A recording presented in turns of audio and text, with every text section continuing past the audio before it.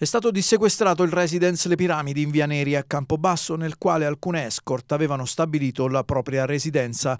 Lo ha deciso la giudice per le indagini preliminari del Tribunale di Campobasso, Veronica Dagnone, accogliendo l'istanza degli avvocati Arturo Messere, Massimiliano Di Grezia e Paolo Lanese, che difendono i titolari. La GIP ha condiviso la tesi secondo cui sono venute meno le esigenze cautelari sottese al provvedimento impositivo del vincolo e ha restituito l'intero immobile immobile agli aventi diritto.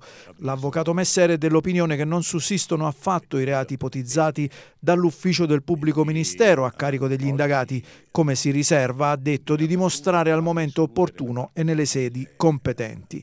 Qualche settimana fa il residence era stato sequestrato e i residenti obbligati a sgomberare. Da tempo, stando alla ricostruzione dei carabinieri, alcune escort utilizzavano gli appartamenti per ricevere clienti. Uno di loro, dopo essere stato malmenato e minacciato da una ragazza, aveva denunciato l'accaduto ai carabinieri.